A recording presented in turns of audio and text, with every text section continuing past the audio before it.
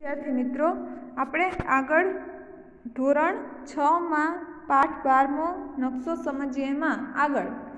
Video એક અને બેમાં નકશા વિશે સામાન્ય સમજ છે એ કેળવી નકશાના પ્રકારો વિશે અભ્યાસ કર્યો અને નકશાના અંગો વિશે છે એ આપણે અભ્યાસ કરી રહ્યા છીએ. જેમાં આપણે નકશાના પહેલું અંગ એટલે કે દિશા એના વિશે અભ્યાસ કર્યો, જેમાં આપણે ચાર મુખ્ય દિશાઓ અને ચાર મધ્યવર્તી દિશાઓ, એટલે કે ઉત્તર, દક્ષિણ, પૂર્વ, પશ્ચિમ અને મધ્યવર્તી દિશા તરીકે વાયવ્ય, ઈશાન, અગ્નિ અને નૈઋત્યનો અભ્યાસ આપણે કર્યો. બરાબર? તો ત્યારબાદ આપણે હોકાયંત્ર વિશે પણ સામાન્ય સમજ છે એ કેળવી, બરાબર? એના વિશે પણ માહિતી મેળવી. હવે આપણે આગળ જે જોવાનું છે એ છે નકશાના અંગો જે જુદા જુદા છે, એમાંથી નકશાનું બીજું અંગ એટલે કે સ્કેલ માપ. બરાબર? નકશાનું બીજું અંગ એટલે શું? તો કે સ્કેલ માપ છે. તેના વિશે આપણે અભ્યાસ કરવાનો છે.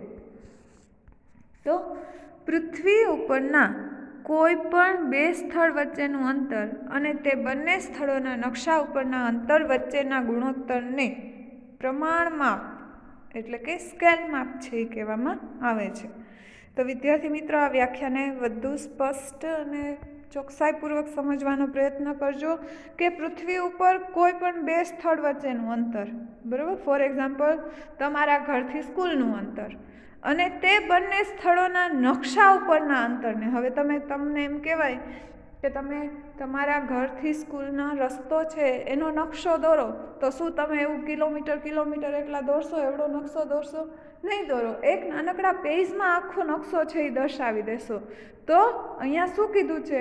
તો કે પૃથ્વી ઉપરના કોઈ પણ બે સ્થળ વચ્ચેનું અંતર અને બંને સ્થળોના નકશા ઉપરનું જે અંતર છે, તો તમે એવું દર્શાવી શકો કે ચલો ભાઈ, સ્કેલનું એક સેન્ટીમીટર માપ બરાબર દસ કિલોમીટર કે વીસ કિલોમીટર, એવું પાંચ કિલોમીટર, બે કિલોમીટર, એવું તમે એક પ્રમાણ માપ છે એ લઈ લ્યો છો, બરાબર?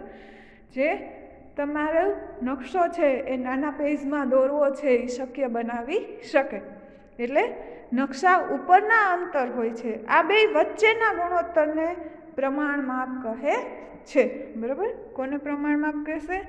તો કે પૃથ્વી ઉપરના કોઈ પણ બે સ્થળ વચ્ચેનું અંતર. બરાબર? ફોર એક્ઝામ્પલ પાંચ કિલોમીટર હોય. અને તે બંને સ્થળોના નકશા ઉપરના અંતર, એટલે કે તમે નકશો બનાવ્યો, તો એક સેન્ટીમીટર બરાબર એક કિલોમીટર લીધું. એવું તમે પાંચ સેન્ટીમીટરમાં આખો નકશો બનાવો, તો તમારું પાંચ કિલોમીટરનું તમારા ઘરથી સ્કૂલનું અંતર છે એ આખું આવી જાય. એટલે આ બેનો જે ગુણોત્તર બને છે, બરાબર? સ્થળ વચ્ચેનું અંતર અને તમારા નકશા ઉપરનું અંતર છે, એ બંને વચ્ચેનો જે ગુણોત્તર બને છે, એને શું કહેવાશે? તો કે એને પ્રમાણ માપ છે એ કહેવામાં આવે છે.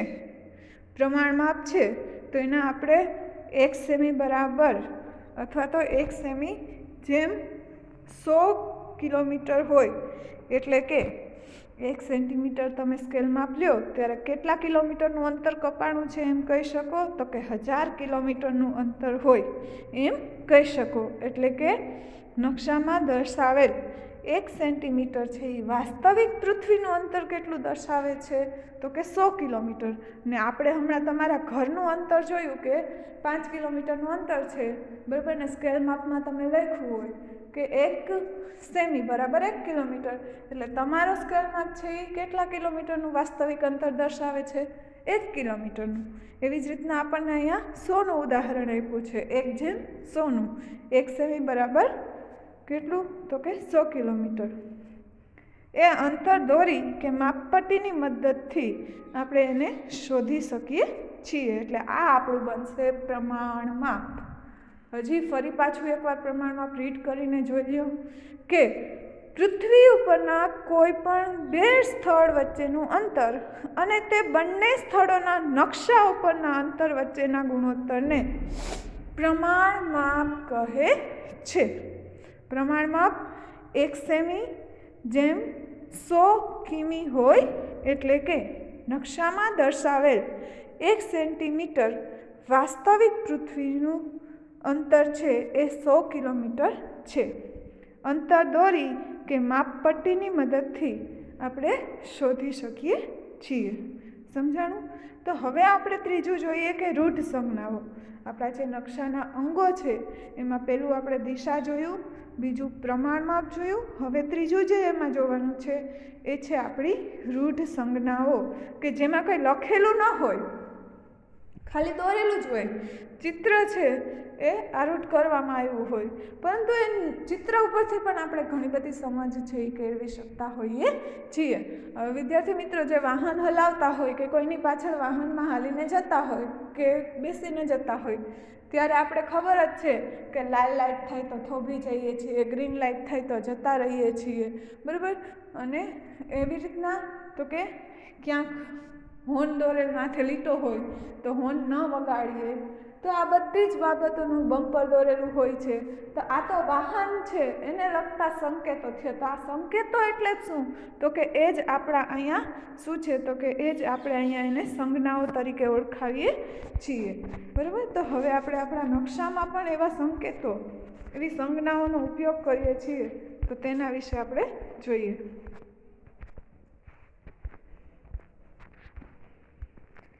વિદ્યાર્થી મિત્રો, તમે ઘરેથી શાળાએ આવો છો, ત્યારે કેટલીક વિશિષ્ટ ચિહ્નો કે પ્રતીકોનું અવલોકન કર્યું હશે.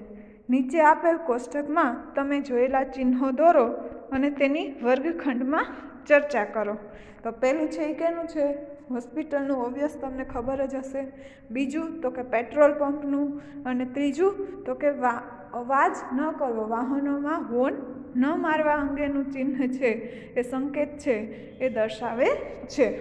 તો, એવી જ રીતના નકશામાં પણ જુદી જુદી પ્રાકૃતિક અને સાંસ્કૃતિક વિગતો દર્શાવવા માટે કેટલાક વિશિષ્ટ ચિહ્નોનો ઉપયોગ થાય છે. બરાબર? આપણા નકશાના બે પ્રકાર આપણે જોયા હેતુ આધારિત. પ્રાકૃતિક ને સાંસ્કૃતિક. એ બાબતો દર્શાવવા માટે આપણે ત્યાં એટલું બધું લખાણ કરવા નથી જતા. જો આપણે એટલું બધું લખાણ કરવા જઈએ, તો એ નકશો છે એ સમાય નહીં. એમાં જે બાબતોને આપણે સમાવિષ્ટ કરવી છે એ કરી શકીએ નહીં. પણ એના માટે કેનો ઉપયોગ થાય છે? તો કે જુદા જુદા ચિહ્નોનો ઉપયોગ છે એ થાય છે. બરાબર? તો જુદી જુદી પ્રાકૃતિક અને સાંસ્કૃતિક વિગતો દર્શાવવા કેટલાક વિશિષ્ટ ચિહ્નોનો ઉપયોગ થાય છે. તેને રૂઢ સંજ્ઞાઓ કહે છે. નકશામાં રૂઢ સંજ્ઞાઓ દર્શાવવા માટે નિશ્ચિત અક્ષરો હોય છે. કેનો કેનો ઉપયોગ થશે? તો કે નિશ્ચિત અક્ષરો છાયા પ્રકાશ એટલે કે જુદા જુદા પ્રકારના રંગો હોય છે. બરાબર? પછી ચિત્રો અને રેખાઓનો ઉપયોગ છે એ કરવામાં. રેખા એટલે કે લીટીઓ. લીટીઓનો ઉપયોગ કરવામાં આવે છે. આ રૂઢ સંજ્ઞાઓની મદદથી પ્રાકૃતિક અને સાંસ્કૃતિક વિગતો છે, એને આપણે સરળતાથી સમજાવી શકીએ છીએ. બરાબર? પ્રાકૃતિક અને સાંસ્કૃતિક બંને વિગતોને. નકશાની રૂઢ સંજ્ઞાઓની જે ભાષા છે, એટલે કે જે ચિહ્નો છે, એ સરળ અને સર્વમાન્ય ભાષા છે, કે નાનું બાળક પણ કદાચ આમ ગોળ તળાવ પાણી દોરેલું હોય તો કહી, હવે કે અહીંયા તળાવ છે. આ તળાવનું ચિત્ર છે. બરાબર? તો આ રૂટ સંજ્ઞાની જે ભાષા હોય એ કેવી હોય છે? તો કે સરળ હોય છે અને સર્વમાન્ય ભાષા હોય છે કે જેને બધા સમજી શકે.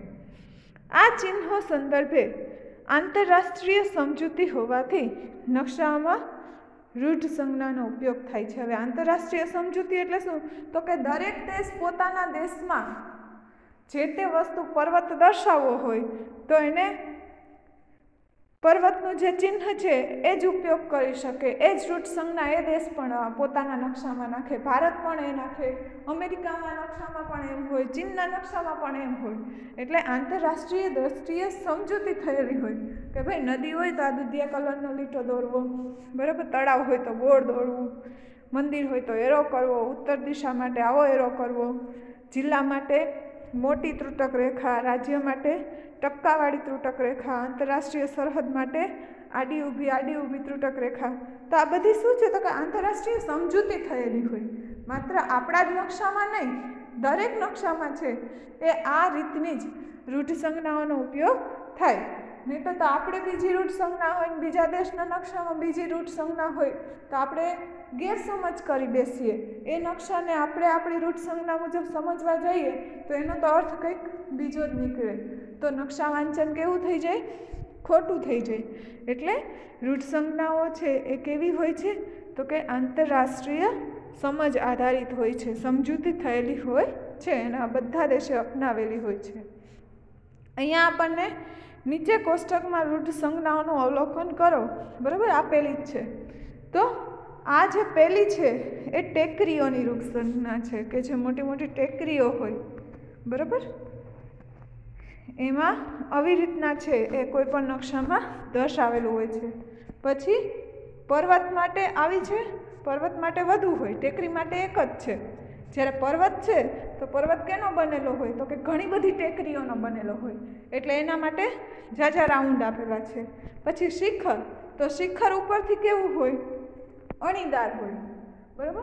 શિખર ઉપર પણ જુદી જુદી ટેકરીઓ તો હોય, પણ એ કેવું હોય? અણીદાર હોય. એટલે એને ત્રિકોણ જેવું છે એ દર્શાવેલું હોય છે. ઘાટ. ઘાટ શું હોય? તો કે બે પર્વતીય વિસ્તારો વચ્ચેની સપાટ જગ્યા હોય, બરાબર? ટેકરીઓ. એટલે ઘાટ માટે છે એ આવું રસ્તા જેવું ચિત્ર છે એ દર્શાવેલું છે. પછી નદી છે, તો એનું વહેણ હોય એવો આકાર છે એને આપેલો હોય છે. નદીઓનો સંગમ. એટલે પહેલાં નદીના બે ફાટા દર્શાવેલા હોય, પછી ભેગી થઈ જતી હોય એવું દર્શાવવામાં આવ્યું હોય. બે જુદા જુદા વાય જેવો આકાર હોય કે પહેલાં બે જુદા જુદા હોય, પછી એક જગ્યાએ આવીને ભેગું થાય એટલે નદીનું સંગમ, બે જુદી જુદી નદીઓ મળવી. ત્રણ હોય તો ત્રણ ભેગે થતી હોય.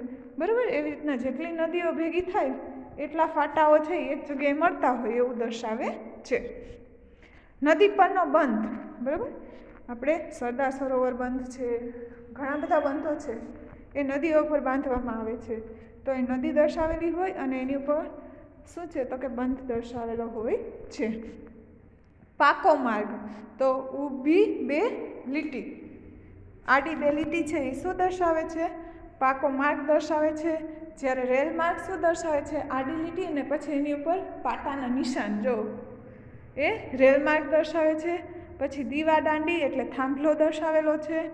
પોસ્ટ ઓફિસ એટલે પી ફોર પોસ્ટ ઓફિસનો ઓ કેપિટલ પીઓ એટલે પોસ્ટ ઓફિસ અને સર્કિટ હાઉસ એટલે સર્કિટનો સી અને હાઉસનો એચ બે કેપિટલ હોય, ત્યારે એને સર્કિટ હાઉસ છે એવું કહેવામાં આવે છે. ત્યાર પછી આપણે જોઈએ, તો નકશાની ઉત્તર દિશા હોય તો એ આપણે આગળ જોઈએ એમ જ. ઉ અથવા તો એન લખેલો હોય અને એરો કરેલો હોય. જિલ્લાની સીમા તો મોટી મોટી ત્રુટક રેખા છે. રાજ્યની સીમા તો ટપકા જેવી નાની નાની રેખા છે. પછી આંતરરાષ્ટ્રીય સરહદ તો આડી ત્રુટક રેખા, ઊભી ત્રુટક રેખા. બરાબર? પ્રમાણ માપ. તો પ્રમાણ માપ માટે આપણને અહીંયા સ્કેલ જેવા આકારનું છે આ દર્શાવેલું હોય છે કે આટલા એ આટલું પ્રમાણમાં છે. દેશની રાજધાની તો કાળા કલરનું, મોટું, ગોળ, ટપકું અને રાઉન્ડ. પછી રાજ્યનું પાટનગર, તો ખાલી સિમ્પલ ગોળ રાઉન્ડ છે. જિલ્લાનું મથક, તો સિંગલ રાઉન્ડ છે. અને શહેર, તો નાનું ગોળ રાઉન્ડ. હવે આને આપણે એમ પણ સમજી શકીએ, શહેર નાનું એટલે નાનું ગોળ રાઉન્ડ. એના કરતાં મોટો શું હોય તો કે જિલ્લો હોય. તો જિલ્લાનું મોટું ગોળ રાઉન્ડ જિલ્લો કેમાં હોય? રાજ્યમાં હોય. તો રાજ્યમાં પહેલાં એક રાજ્યનું ગોળ રાઉન્ડ કરવાનું, અંદર જિલ્લાઓ દર્શાવવાના. એટલે જિલ્લાનું ગોળ રાઉન્ડ એટલે બે રાઉન્ડ થયા. પછી તો કે દેશ કેનો બનેલો હોય, તો કે જુદા જુદા રાજ્યોનો બનેલો હોય. તો અંદર રાજ્યો છે, એના માટેને રાજ્યની અંદર જિલ્લાઓ જિલ્લાઓ દર્શાવે તો આખું બ્લેકથી ભરાઈ જાય. એટલે અંદર ગોળ ટપકું અને ઉપર એક રાઉન્ડ એટલે એ દેશની રાજધાની. આમ આપણે ઇઝીલી સમજીને યાદ કરીએ, તો બધી સંજ્ઞાઓ યાદ રહી જાય. પછી જંગલો. તો જંગલોમાં શું હોય? વૃક્ષો હોય. એટલે એના માટે જુદા જુદા વૃક્ષો છે. એના ચિહ્નો દર્શાવેલા છે. પછી પોલીસ સ્ટેશન. પોલીસનો પી સ્ટેશનનો એસ બે કેપિટલ લેવામાં આવે છે. એટલે પીએસ એટલે પોલીસ સ્ટેશન અને પીટીઓ પોસ્ટ અને તાર ઓફિસ. એટલે એને પીટીઓ કહેવામાં આવે છે. બરાબર? તો આ બધી રૂઢ સંજ્ઞાઓ છે અને એના વિશેની માહિતી છે. એ આપણને અહીંયા દર્શાવવામાં આવી છે. જેના દ્વારા આપણે શું કરી શકીએ છીએ? તો કે નકશા વાંચન છે એ ખૂબ જ આરામથી, સહેલાઈથી અને વધુ સરળ રીતે છે એ કરી શકીએ છીએ. હવે આપણે જોઈએ કે ચિહ્નો ઉપરાંત નકશામાં જુદા જુદા રંગનો પણ ઉપયોગ થાય છે. આ તો આપણે ચિહ્નો જોયા. પછી આપણે જોઈએ કે રંગનો પણ ઉપયોગ થાય છે. તો રંગ સ્તરની વિભિન્ન પ્રાકૃતિક અને સાંસ્કૃતિક વિગતો દર્શાવી શકાય છે. કારણ કે દરેક રંગ કંઈક સૂચવે છે. હવે તમે બજારમાં જાઓ અને તમારે શાકાહારી વસ્તુ ખરીદવી હોય, તો તમે રંગનું કયું ચિહ્ન જોશો તો કંઈક ચોરસ હોય ને અંદર ગ્રીન ટપકું હોય, એવી વસ્તુ હશે. એવું પ્રમાણિત કરે છે કે વસ્તુ છે એ શુદ્ધ શાકાહારી છે. જ્યારે માંસાહારી વસ્તુમાં તો કે ચોરસ હોય અંદર રેડ કલરનું ટપકું હોય, તો એ માંસાહારી વસ્તુ છે. તો આવી રીતે દરેક રંગ પણ એક રૂટ સંજ્ઞા છે. એ પણ જુદી જુદી માહિતી છે એ આપે છે. તો એવી જ રીતના આપણા પ્રાકૃતિક બાબતો હોય, તો જંગલો માટે ગ્રીન કલર હોઈ શકે, પર્વતો માટે બ્રાઉન કલર, કથ્થાઈ હોઈ શકે છે, ભૂમિ સ્વરૂપો માટે. બરાબર? વાદળો, વરસાદ એટલે પાણીના હોય, તો દુધિયા કલર છે, એ વાદળી કલર હોઈ શકે. એમ જુદા જુદા રંગો છે, એ પણ જુદી જુદી પ્રાકૃતિક બાબતો છે એનો નિર્દેશ કરે છે. તો અહીંયા આપણે જોઈએ તો વિગત પહેલું આપણને આપ્યું ભૂમિ સ્વરૂપ. તો ભૂમિ સ્વરૂપનો રંગ કેવો દર્શાવવામાં આવે છે? તો કે કથ્થઈ કે બદામી. ઉચ્ચ ભૂમિ સ્વરૂપ છે. પછી કથ્થઈ કે બદામીના શેડ બતાવવામાં આવે. જેમ વધુ, એની ઊંચાઈ, ઊંડાઈ જોવી હોય તો. પછી જળ સ્વરૂપ દર્શાવવા માટે તો કે વાદળી કલર પછી વનસ્પતિ પ્રદેશ એટલે કે હરિયાળી હોય, બરાબર? વનસ્પતિ હોય ત્યાં એટલે લીલો કલર. પછી રેલ માર્ગ દર્શાવવા માટે તો રેલના પાટા કાળા જ હોય, લોખંડના હોય એટલે કાળો કલર. પછી જમીન માર્ગ દર્શાવવા માટે તો લાલ કલર. અને ખેતી દર્શાવવી હોય, બરાબર? આપણે સોને કી ચીડિયા ભારત શું કામ કહેવાય? તો સોનું કેવું હોય? પીળું હોય. પણ આપણે સોને કી ચીડિયા આપણો ખેતી પ્રધાન દેશ છે. આપણે ખૂબ મોટા પ્રમાણમાં અનુત્પાદન કરીએ છીએ. એના કારણે આપણે એટલા સમૃદ્ધ હતા. એટલે ખેતી છે એ કેવું? કલર દર્શાવે છે? પીળો કલર છે એ દર્શાવે છે. બરાબર? તો આ બાર પોઈન્ટ દસમાં આપણે રંગ સ્તર અને સંકેતો વિશે જોયું કે જે તે કલર છે એ કઈ બાબતનું સંકેત કરે છે? કઈ બાબત છે એને દર્શાવે છે? તો હવે આપણે ભારતના સ્થાન વિશે અભ્યાસ કરશું. આપણે નકશાઓને સમજ્યા, રૂઢ સંજ્ઞાઓને સમજી, કોનો મતલબ શું થાય છે એ બધું જાણ્યું. બરાબર? તો આપણે આગળ ભારતનો નકશો છે એ જોયો તો તો ખરા.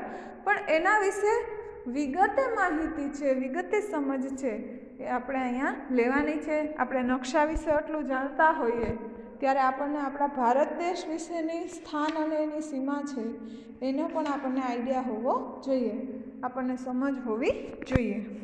તો ભારત કેવો છે?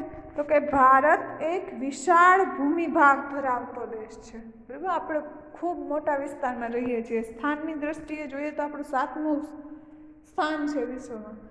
અને વિસ્તારની દ્રષ્ટિએ જોઈએ તો આપણે કેટલામાં ક્રમે? તો કે વસ્તીની દ્રષ્ટિએ બીજા ક્રમે આવીએ છીએ અને વિસ્તારની દ્રષ્ટિએ સાતમા ક્રમે છે આપણે વિશ્વમાં આવીએ છીએ. તો ભારત દેશ છે એ પૃથ્વી પર આપણે પૃથ્વીનો ગોળ ગોળો લઈને બેસીએ અને પછી એમાં રેખાંશો અને અક્ષાંશોની વચ્ચે, ઉત્તર, દક્ષિણ, પૂર્વ, પશ્ચિમની વચ્ચે આપણે આપણા ભારતને ગોતવામાં, કહેવામાં આવે તો આપણો ભારત દેશ છે એ ક્યાં આવશે તો કે ભારત દેશ છે, એ ઉત્તર પૂર્વ ગોળાર્ધમાં આવેલો છે. કયા ગોળાર્ધમાં આવશે? તો કે ઉત્તર પૂર્વ ગોળાર્ધમાં. ભારત એશિયા ખંડમાં દક્ષિણ ભાગમાં આવેલો છે. હવે ઉત્તર પૂર્વ ગોળાર્ધમાં જોઈએ તો મોટાભાગનો કયો ખંડ આવેલો છે? તો કે એશિયા ખંડ જ આખો આવેલો છે. તો એ એશિયા ખંડમાં જો આપણે ભારતને ગોતવા જવો પડે, બોલો આપણે પૃથ્વીના ગોળા ઉપર ગોઈતો, તો એ ઉત્તર પૂર્વ ગોળાર્ધમાં આવે. પણ હવે આપણે એશિયા ખંડમાં ભારતને જોવો હોય, તો ભારત ક્યાં હશે? તો કે દક્ષિણ ભાગમાં આવેલો છે, કારણ કે નીચેની સાઈડ સૌથી છેડે, પછી તો સમુદ્ર આવી જાય છે. બરાબર? નીચે હિન્દ મહાસાગર આવી જાય છે. એટલે આપણે કયા ભાગમાં આવેલા છીએ? એશિયા ખંડમાં દક્ષિણ ભાગે આવેલા છે. ભારતની ઉત્તરે શું આવેલું છે? તો કે હિમાલયની પર્વતમાળા આવેલી છે.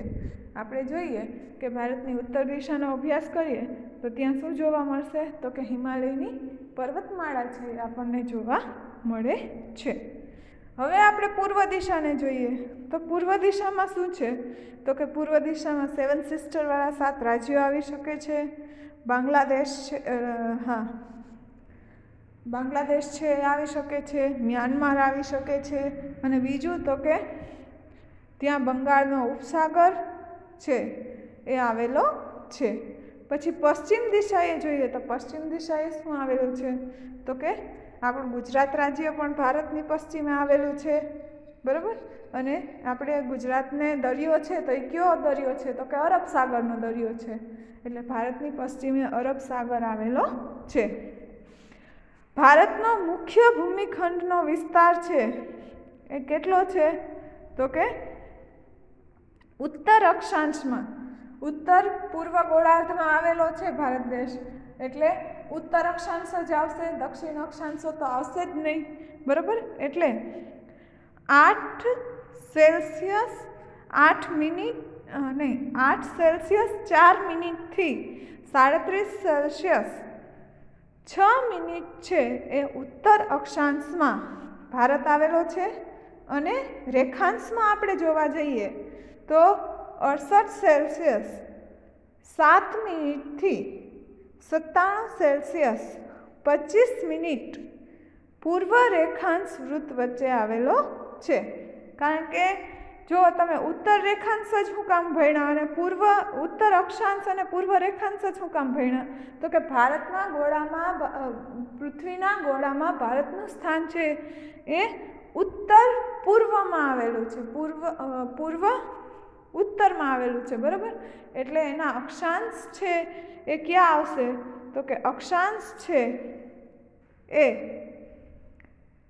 ઉત્તર આવશે અને રેખાંશ છે એ પૂર્વ આવશે, બરાબર?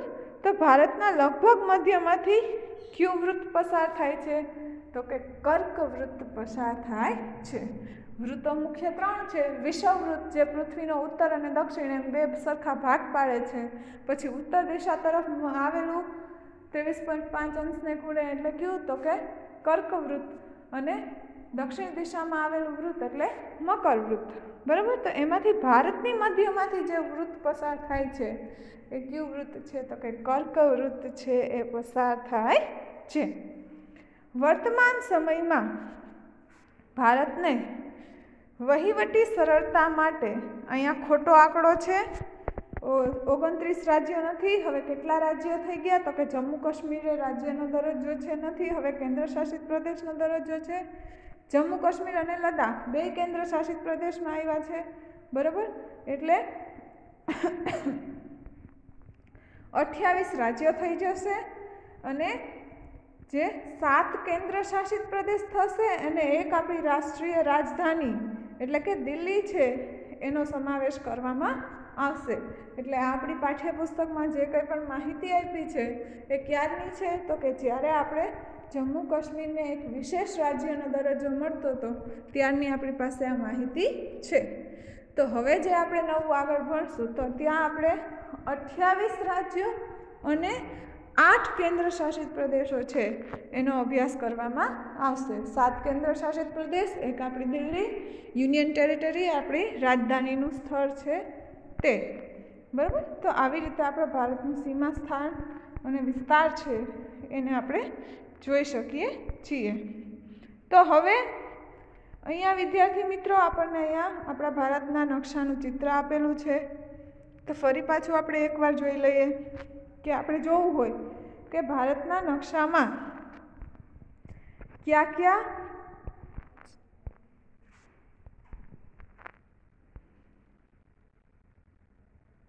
ક્યાં કયા? રાજ, દેશો છે એ અડે છે. તો આપણે જોઈ શકીએ કે અહીંયાથી ભારતને કેની સરહદ અડે છે? પાકિસ્તાનની. પછી અહીંયાથી કેની સરહદ અડે છે? અફઘાનિસ્તાનની. અહીંયા બધેથી કેની સરહદ અડે છે? ચીનની. અહીંયા કેની સરહદ અડે છે? નેપાળની. અહીંયાથી ભારતને કેની સરહદ અડે છે? બાંગ્લાદેશની. અહીંયાથી ભારતને કેની સરહદ અડે છે? મ્યાનમારની. તો આ બધા એવા દેશો છે કે જેની સરહદ છે એ ભારતને અડે છે. એટલે કે આ બધા ભારતના આપણે પાડોશી દેશો છે એમ આપણે કહી શકીએ. પછી, તો કે આ છે એ શું દર્શાવે છે? તો કે ઉત્તર દિશા દર્શાવે છે. એટલે આપણો ભારત છે એ વિશ્વના નકશામાં ક્યાં આવેલો છે? તો કે ઉત્તર પૂર્વમાં આવેલો છે. હવે આપણે આગળ એક પણ જોયું કે ભારતના મધ્યમાંથી કયું વૃત્ત પસાર થાય છે? તો કે કર્ક વૃત્ત પસાર થાય છે. તો એ વિદ્યાર્થી મિત્રો જુઓ તમને અહીંયા આખું વૃત્ત દર્શાવેલું છે. ક્યુ વૃત્ત છે? કર્ક વૃત્ત છે. હવે તમે એ વૃત્ત ઉપર જુઓ તો એ વૃત્ત ક્યાં ક્યાંથી થાય છે પસાર? તો કે આપણા ગુજરાતમાંથી થાય છે, મધ્યપ્રદેશમાંથી થાય છે, છત્તીસગઢમાંથી થાય છે, ઝારખંડ, પશ્ચિમ બંગાળ, ત્રિપુરા અને મિઝોરમ. એમ ટોટલ એક, બે, ત્રણ, ચાર, પાંચ, છ, સાત ને આઠ રાજ્ય છે. એમાંથી શું છે? તો કે કર્કવૃત્ત છે એ પસાર થાય છે, બરાબર? તો આ પણ એક માહિતી આપણે અહીંયા નકશામાંથી આસાનીથી સમજી શકીએ છીએ. પછી આપણે શું જોઈએ? તો કે આપણે ભારતના કેટલા રાજકીય નકશો છે? કેન્દ્ર શાસિત પ્રદેશ છે એટલે આપણો આ નકશો કેવો થશે? રાજકીય. તો અહીંયા આપણે માહિતી આપી છે, એના આધારે અહીંથી લદ્દાખ છે, આ આખું જમ્મુ કાશ્મીર રાજ્ય છે, એમાંથી અહીં જમ્મુ કાશ્મીર અને આ લદ્દાખ છે, એ અલગ પાડવામાં આવ્યું છે. બરાબર? એટલે ત્યાં છે, એ બે કેન્દ્ર શાસિત પ્રદેશો બની ગયા છે. નહીંતર આ એક આખું વિશેષ રાજ્ય હતું, જમ્મુ કાશ્મીર આખું એક વિશેષ રાજ્ય હતું. એ વિશેષ રાજ્યમાંથી હવે એને બાદ કરી એના બે ભાગ પાડ્યા છે, લદ્દાખ અને જમ્મુ કાશ્મીર અને બંનેને કેન્દ્ર શાસિત પ્રદેશો છે એ બનાવવામાં આવ્યા છે. પછી આપણે જોઈએ તો ભારત છે એ ત્રણેય દિશાથી સમુદ્ર સીમાથી ઘેરાયેલો છે. જોવો અહીંયા અહીંયા બધે શું છે? સમુદ્ર સીમા, દુધિયા કલર છે એટલે પાણી, જળનો સંદેશ છે. તો એમાં આપણે જોઈએ તો અહીંયા શું આવેલું છે?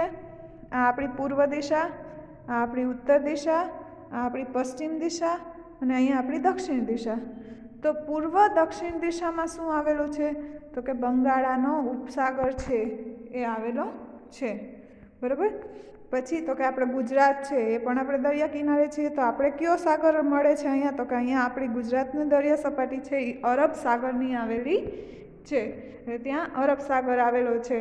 અને આપણે આ નકશાને સાવ આમ ઉપરની સાઈડ લઈ જઈશું એટલે છેલ્લે દક્ષિણ દિશામાં જે છે, એ કયો છે? તો કે હિન્દ મહાસાગર છે એ આવેલો છે.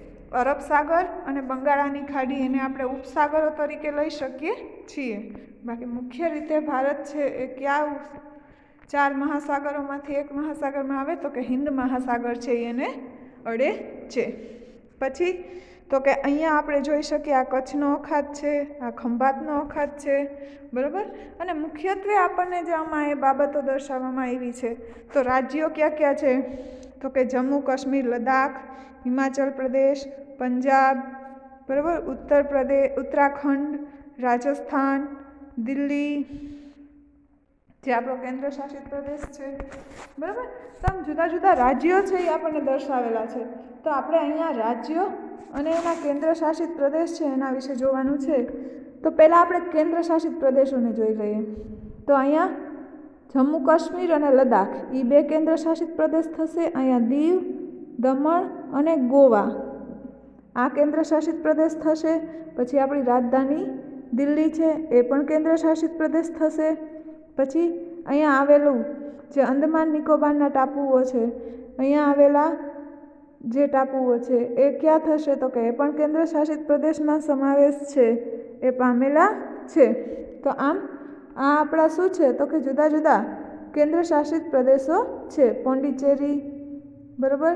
દીવ દમણ, ગોવા, દાદરાનગર, હવેલી, આ બધા આપણા કેન્દ્ર શાસિત પ્રદેશો છે. જમ્મુ, કાશ્મીર, લદ્દાખ અંદમાન, નિકોબારના ટાપુઓ, આ બધાનો સમાવેશ છે કેન્દ્ર શાસિત પ્રદેશમાં થાય છે. પછી આપણા અઠ્યાવીસ રાજ્યો જોઈએ આપણે. તો હિમાચલ પ્રદેશ, પંજાબ, બરાબર? ઉત્તરાખંડ, હરિયાણા ઉત્તર પ્રદેશ, પછી તો કે સિક્કિમ, અરુણાચલ પ્રદેશ, અસમ, નાગાલેન્ડ, મણિપુર, મિઝોરમ, પછી મેઘાલય. બરાબર? તો આ બધા શું છે? તો કે આ બધા આપણા રાજ્યો છે. બિહાર, ઝારખંડ, પશ્ચિમ બંગાળ, ઓડિશા, આંધ્રપ્રદેશ, કર્ણાટક, નીચે આસામ તેલંગાણા, છત્તીસગઢ, મહારાષ્ટ્ર, મધ્યપ્રદેશ, રાજસ્થાન અને આપણું આ ગુજરાત. તો આ ભારતના જુદા જુદા છે. નીચે કેરળ પણ આવી જશે. બરાબર? તો આ ભારતના જુદા જુદા રાજ્યો છે એ દર્શાવે છે. તો આમ આપણે નકશા દ્વારા સમજી શકીએ કે ભારતમાં આપણું ગુજરાતનું સ્થાન ક્યાં છે? તો કે પશ્ચિમ દિશામાં. બરાબર? આપણું સ્થાન પશ્ચિમ દિશામાં છે. પછી ઘણીવાર હું સેવન સિસ્ટર કહેતી હોય કે પૂર્વનો ભાગ એટલે કેનો ભાગ. તો કે સેવન સિસ્ટરનો સેવન સિસ્ટર એટલે શું? તો કે આ જે સાત રાજ્યો છે ને એ અરુણાચલ પ્રદેશ, અસમ, નાગાલેન્ડ, મણિપુર, મિઝોરમ, ત્રિપુરા, મેઘાલય, આ બધા જે સાતે સાત રાજ્ય છે, એને આપણે કેના નામથી ઓળખીએ છીએ?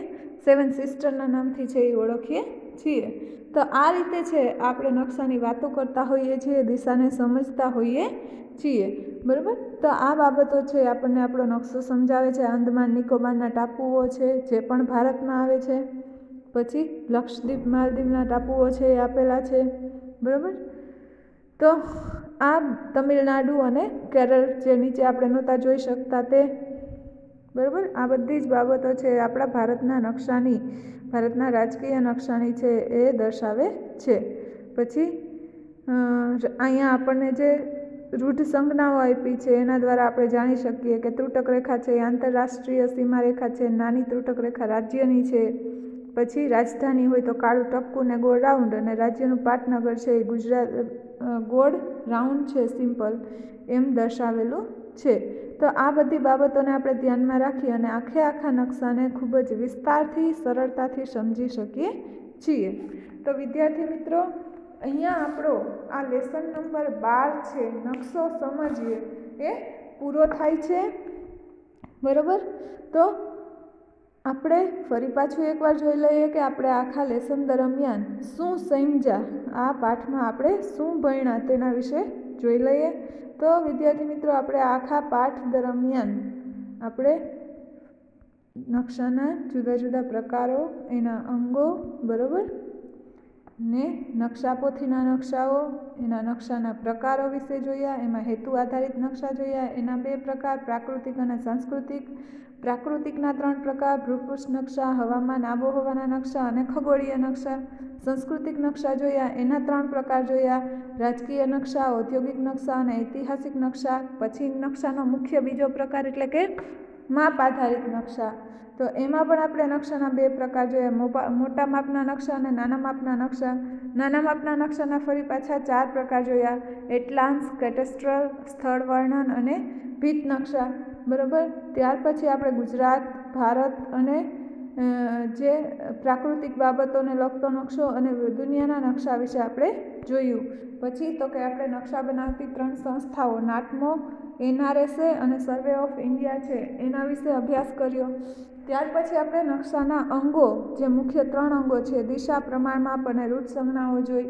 જેમાં દિશા એટલે કે ડાયરેક્શનમાં આપણે મુખ્ય ચાર દિશાઓ અને ચાર અંતર, આંતરવર્તીય દિશાઓ, એટલે કે ઉત્તર, દક્ષિણ, પૂર્વ, પશ્ચિમ ચાર દિશાઓ મુખ્ય અને દિશાન અગ્નિ, નૈઋત્ય અને વાયવ્ય આ ચાર આંતરવર્તીય દિશાઓ છે. એના વિશે આપણે અભ્યાસ, મધ્યવર્તી દિશાઓ વિશે અભ્યાસ કર્યો, પછી ગામડાનું ચિત્ર જોઈ અને દિશા સમજવાનો પ્રયત્ન કર્યો. પછી તો કે ત્યારબાદ આપણે હોકા યંત્રનો અભ્યાસ કર્યો, એ કઈ રીતે કાર્ય કરે છે, કોને કોને ઉપયોગી બને છે, બરાબર?